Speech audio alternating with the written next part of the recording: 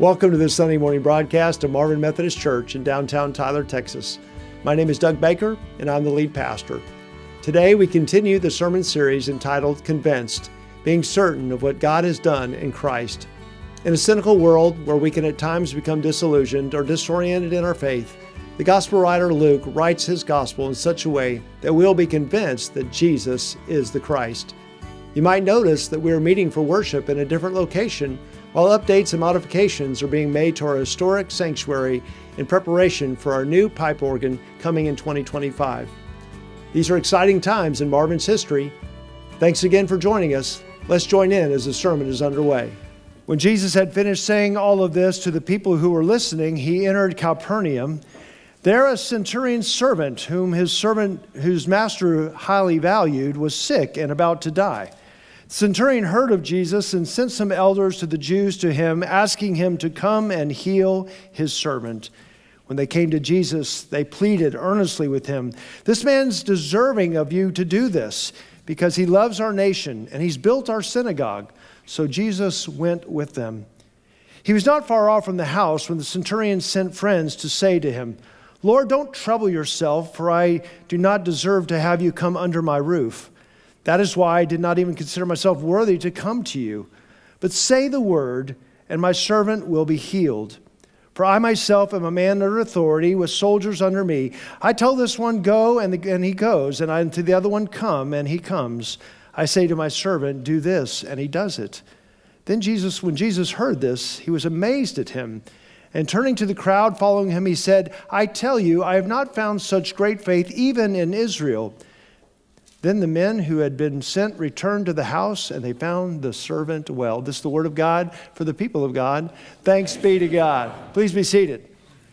Well, friends, I'm not an electrician by any means, and uh, I don't really understand how electric circuitry works really well. And for me, it's either it works or it doesn't work. And if it's not working, you need to call someone to help you get it. That's kind of how I handle that. I do know, though, if I do try to to work with circuitry or anything electrical to shut off the power breakers at the box first before you do anything. I only made a mistake one time in our closet changing a fixture, and uh, a good thing I was not on an aluminum ladder when I say that. Uh, let me, uh, if you'll excuse my naivete, I want to give an analogy though today about electrical circuitry and the power of God and how God does good work uh, through faith when people ask in faith.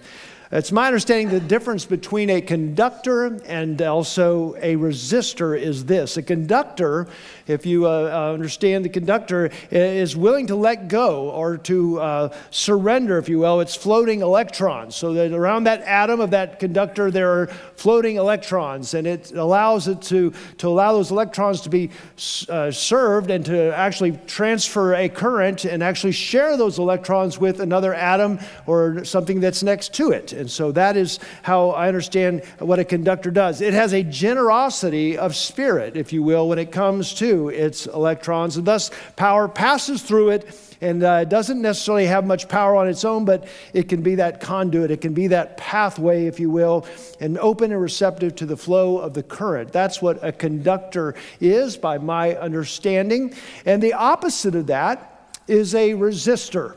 So, a resistor, by contrast, won't let go of its electrons. They hang on to those little electrons. They want to keep the status quo. They don't want to keep, they want to keep all their possessions intact. These resistors don't have much power, and they miss out on being a part of great things because power cannot pass through a resistor. Conductors, on the other hand, allow the power to flow and they can be a part of something great, some change. I even uh, saw this illustration by a pastor who talked about, uh, well, he actually had a battery on stage, he had some electric wires, he had a big dill pickle in the middle, some more wires coming out of the pickle, and a little light bulb, and showed that a pickle is actually a conductor. The current passed through the pickle. And I thought, yeah, I'm not sure I want pickle juice all over my hands. And then I shake your hands at the door, we all got pickle juice, and I'm not sure that vinegar smell is really the aroma of God that they described in the temple. I just, I think it's something different. Uh, but anyway, so conductors and uh, resistors. Now, when we think about this, think about the Bible. There are resistors and then there are conductors. There are those that uh, uh, tap into the power of God and allow that power to, to go through them and to, to do some amazing work, and there are those that resist it. Like Pharaoh, for example, he was a resistor. He did not want to let God's people go. Think about what e- Egypt could have become if they had befriended uh, the Israelites, let them go with their blessing and to see. I don't know what it, would have, what it could have meant, but uh, he wanted to hold on, and it cost him dearly to hold on. Moses, on the other hand, was not perfect, but he was a conductor. Even with his inadequacies and his shortcomings, he said yes to God and he was willing to allow God to use him. And because of that, he saw amazing things happen amazingly powerful things happen. He saw manna from heaven, he saw the Red Sea part, he saw uh, water come forth from a rock, all because he allowed the power of God to transfer and to come into the realm in which he was living. He was a conductor. Now, King Saul was an impressive man. He had shoulders above the rest, he, but he had a problem. He learned that, that he was no longer the anointed one, and he did everything within his power to try to kill David, who had gotten the anointing of God. And so, Saul, if you read in the Bible, becomes a, right, he becomes a resistor and it costs him dearly as well. But David, on the other hand, even with his issues and his fallibility, uh, allowed God's Spirit to, to move through him, and he would provide the lineage now for Jesus Christ, whose birth we celebrate, who is our Lord and Savior. And also, we celebrate the Psalms that David has written that are a part of the blessing of our Holy Scriptures. So, in our scripture lesson today, I want to focus on a less known conductor, if you will. This is an unnamed centurion. And because of his faith in Jesus and his belief that Jesus could heal individuals, he asks a favor of Jesus to come and to bring healing to his servant. In a way, he has become a conductor by his request, this servant who knows not God, who is laying there in bed close to death, will miraculously be healed because he steps towards Jesus and asks for Jesus to come and to bring healing to his servant. Now, in verse 2, the centurion servant was sick, and in the scripture it reads, he was about to die. And the centurion summoned at that point Jesus to come and to heal him. And then we find at the very end of the scripture reading I read this morning that this servant lives. He is made well. So the centurion, a conductor, his faith in Jesus to be a healer became the conduit, if you will, became that conductor of allowing the healing power of Christ to reach out through Jesus' words to this servant. That's the story we're going to look at today. And I'm going to go a little bit line by line. If you got your Bible, you can read along with me. I'm going to do a little more expository approach, kind of un- unpacking the lines as we go, going line by line. As mentioned earlier, a highly valued servant is dying in a centurion's home. Now, who is a centurion? Let's just get that out on the table here. A centurion is a professional military officer, commanded a platoon called a century of how many men? How many men would you find in a century? A hundred, at least a hundred, maybe even more. And he was known and appointed to this role of leadership because he had virtue, because he was brave, because he was loyal, because he was a man of great character. He would have been expected, though, to fight on the front line, shoulder to shoulder with his men, to be out there giving orders so that the mission could be accomplished. Polybius, who is a Greek historian, describes these centurions.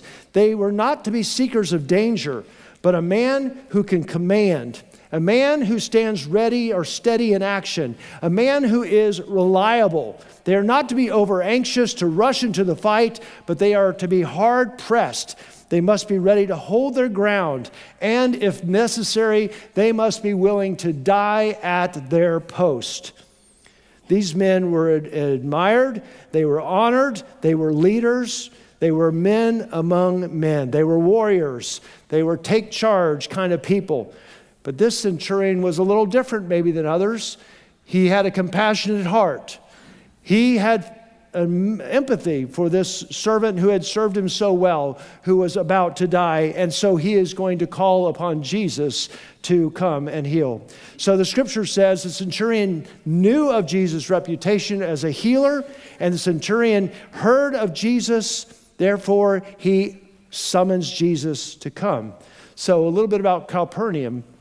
You might recall, because we've been studying the Gospel of Luke, Jesus started his ministry coming out of his baptism in Nazareth. There he read from the scroll of Isaiah, and then there's some exchange about Gentiles that gets all the people upset, so he has to leave his hometown of Nazareth, and then he goes to Capernaum, where the first thing he does is he heals a demon possessed man on the Sabbath in the synagogue okay? And after doing that, then he goes well, it's probably about 50 yards to Simon Peter's house. If you remember the story, his mother in law is sick with a fever, Peter's mother in law, so he heals her. And then once the Sabbath ends, what happens? The word is out. Jesus has done this healing in the synagogue. Jesus, Jesus has healed Peter's mother, and now all the sick of Capernaum have been brought to Simon Peter's house and it becomes a healing ministry extravaganza. Lots of healing going on. And Jesus is just getting started in his ministry. Now, Capernaum, friends,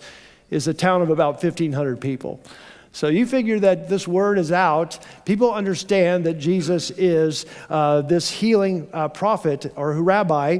And so the centurion asks for a delegation of respected Jewish leaders to go on his behalf to get Jesus to come and do the healing. We know the centurion is uh, res- respected, he is beloved by the Jewish leaders. They speak for him, they vouch for him. If you read in the scripture with me, they, they, uh, they even saw this as a great opportunity to do something nice for a man who's been good to them, who helped build their synagogue.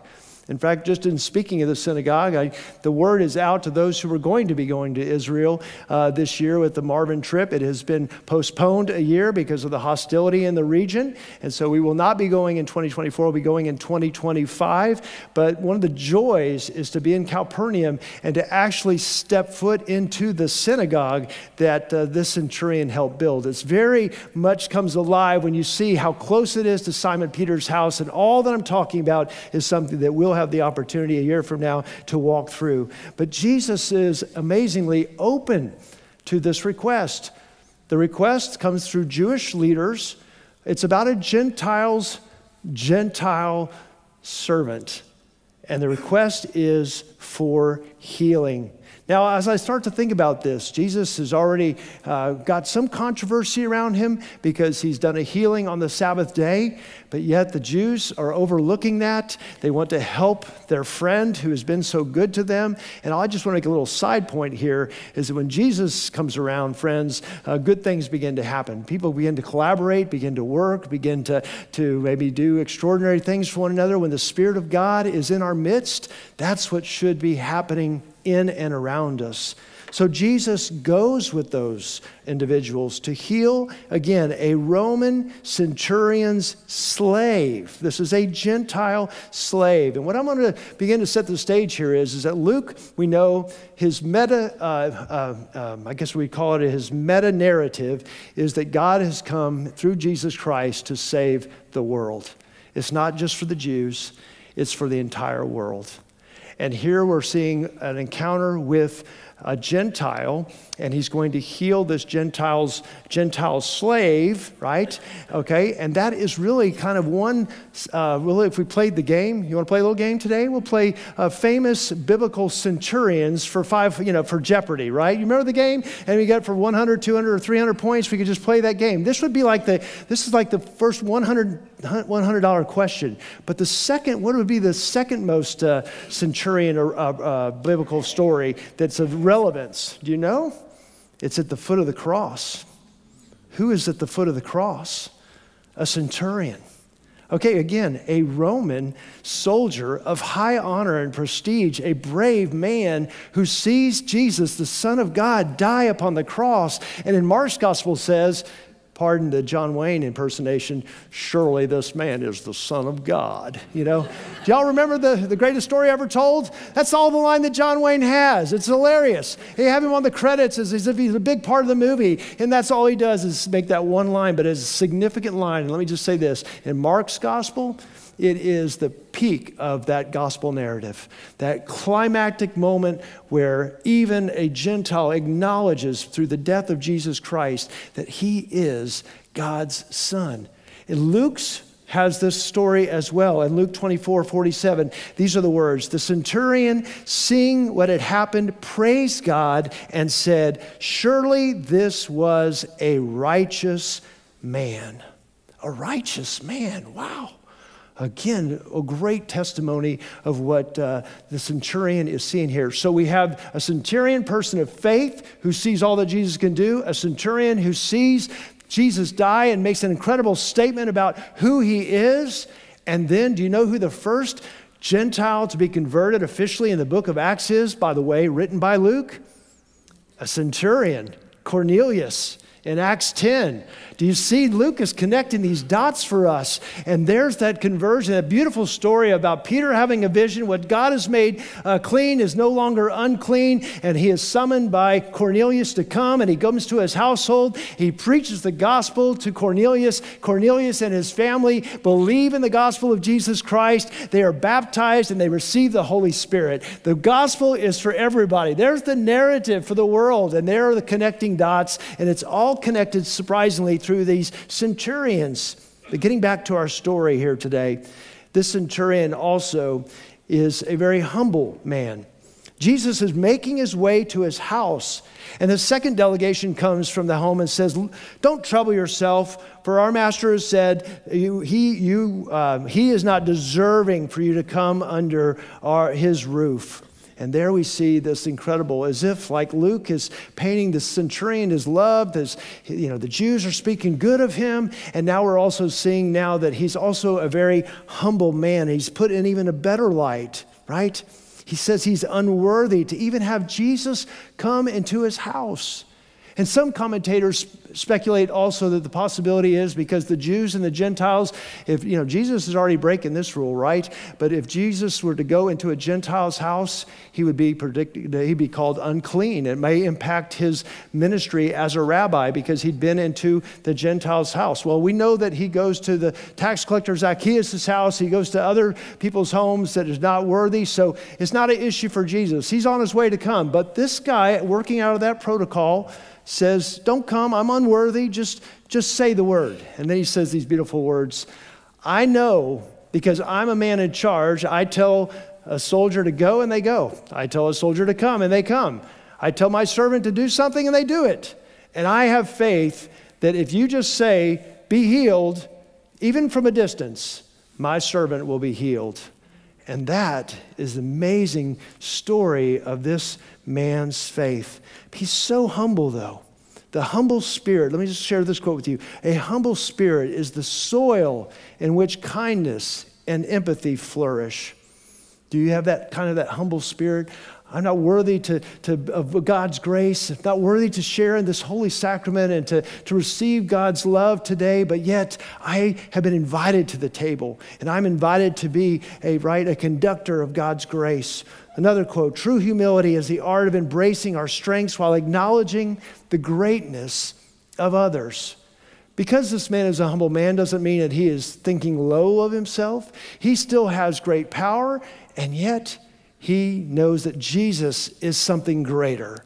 And that's why he's asking for his help to save his servant of illness. And so we see this, this wonderful statement of faith that comes out in verse 7 Say the word, and my servant will be healed. Friends, Luke has already established for us the power of Jesus' word, the authority of Jesus' word. Jesus says, Get up, and a man who is uh, paralyzed gets up. He, he, a man with leprosy gets healed, and he speaks, and it happens. And it sounds very familiar to the calling card of the Lord God Almighty who spoke this world into existence through his speaking of the word. And that's why we proclaim the word over the people of God. God comes and does amazing things, and things get created, and new life comes. So, words are not simply caused by mouth shaping air passing through our larynx. Words have power. Jesus' words have power. When you pray for somebody in Jesus' name, you are invoking the very name and authority of Jesus into that situation. And there is power in the name of Jesus Christ. Now remember, the centurion stops Jesus from coming to the home, simply saying, Just say the word, and I know that my servant will be healed. And as Jesus commands, commends the centurion for faith, it's an exemplary compliment. Look at verse 9. When Jesus heard this, he was amazed at him. And turning to the crowd that was following him, he said, I've not found such great faith in Israel. I have not found such great faith. Oh, to have that kind of a faith. Jesus, through your power, through your word, through your authority, bring what I'm asking for. Help me, Lord, to be a conductor of your grace, a conductor of your healing by those I pray for, though, by the things I ask as I strive to be in your will. But I have to be honest with you, friends. This uh, story doesn't end the way I'd like it to end. It ends with a compliment by Jesus about this centurion and his faith. And the man is healed. And then the story's over. What I would love to see is to see that centurion come out of his house, fall at the very feet of Jesus Christ, and say, My Lord and my God, praise, praise be to God who has healed my servant. Come into my house, Jesus, or let's have a meal together here and let's celebrate this work that you have done. And maybe, just maybe, Jesus would have said, Why don't you, centurion friend, follow me? Come follow me. Come be a part of this movement of God's kingdom that I'm bringing to this world. But that's not what happens. This man of great faith who is complimented on believing simply completes a transaction. Now, friends, on Wednesday nights, our missional expansion director, Adam Kovach, and I are studying the book and sharing it with the class, Practicing the Way by John Mark Comer. We're learning about what it means to be with Jesus, to become like him, and to do the things that Jesus does. And what's so frustrating about this story is I know in a town of 1,500, these guys maybe saw each other eye to eye but the story doesn't reflect there's any reaction of him wanting to just be with Jesus or to follow in the dust of the rabbi and become a follower of the way. He just has asked for something in faith and he got it and went on with life. That's all we can kind of know. So let me just ask you this What is faith? Faith, by biblical definition, is trusting in something you cannot explicitly prove. It is, has two aspects of it. We'll think, keep the electrical thing going. Two prongs of, a, of electrical current here. There are the aspects of an, an, an intellectual assent, and then there is the prong of trust. It's one thing to believe something could happen, it's another thing to trust it with your very own life. That's where I see the breakdown. He believes in Jesus, but he doesn't want to trust Jesus enough to leave his career as a centurion and maybe follow Jesus. So let's talk about it this way. Brought a chair up here with me. I believe this chair can hold probably maybe 250 to 350 pounds. I think it was in, engineered and designed perfectly to, to do that. And so I'm going to believe that this chair is, will do what it's created to do. But you know what the next part of that is? Do I trust it enough to place myself in that chair? I'm sure y'all are curious. I trust it enough to sit in it. Just as I would say to you all here today, do you trust Jesus enough with your life, with your challenges, with your problems, with your struggles? Or is it just like a transaction? Because, friends, I believe in the atonement of Jesus Christ. I believe that Jesus' death on the cross allows me to be forgiven of my sins. But that substitutionary atonement is like a transaction, right? I receive the forgiveness in the blood of Christ so that I can be forgiven and for not be punished eternally he- but go to heaven and be with God at the end of my life, right? That is a transaction. Because I believe that, I receive the promise. Those who believe in him will not die but have everlasting life. But I think faith in Jesus Christ is more than a transaction, friends.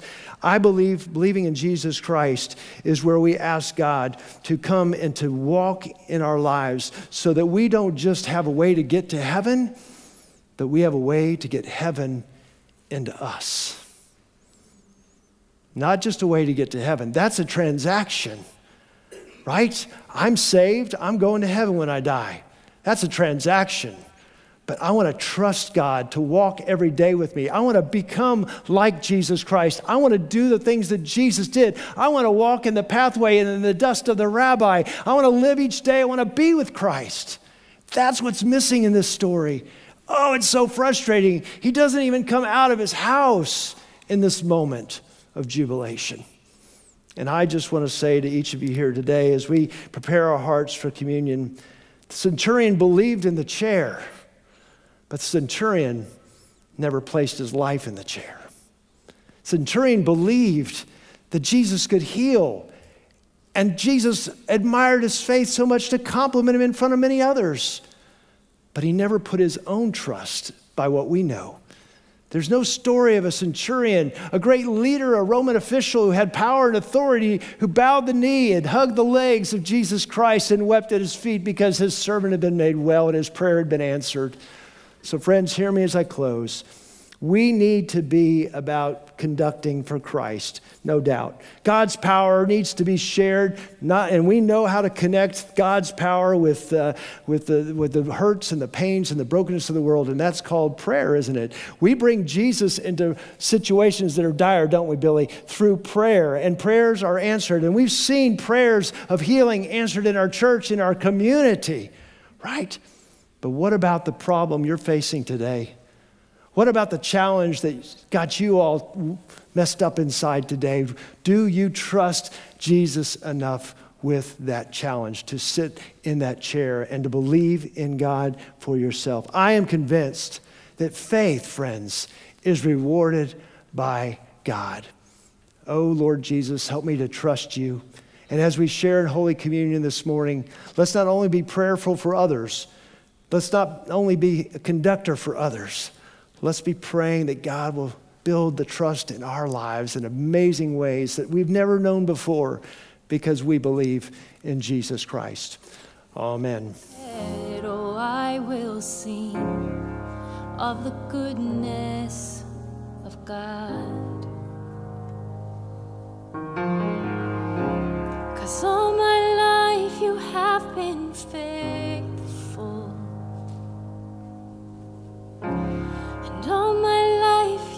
Have been so, so good.